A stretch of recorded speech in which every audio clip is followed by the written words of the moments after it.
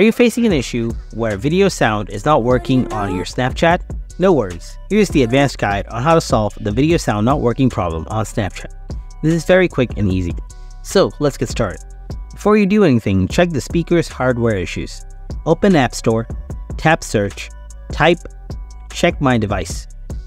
Install this app. Now open this up, scroll down, tap Sound Test. Now check the sound. If the sound doesn't come, this could be a hardware issue. In that case, in that case, you need to take this device to AppleCare. But before you do, try these following steps. Slide down and ensure that you turned off the low power mode and Bluetooth connection also. After that, turn up the volume up button. Now check whether your problem is solved or not, and try this easy solution below. Solution 1. Check sound settings. Open settings, tap on sound and haptics, and ensure that the change with the volume change with the button is turned on. Now check whether your problem is solved or not. Now check whether your problem is solved or not, and try our next solution.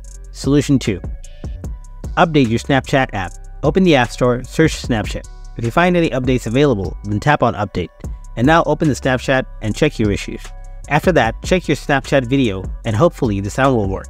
If you found this video helpful, then hit the like button and don't forget to subscribe to our channel. Thanks for watching.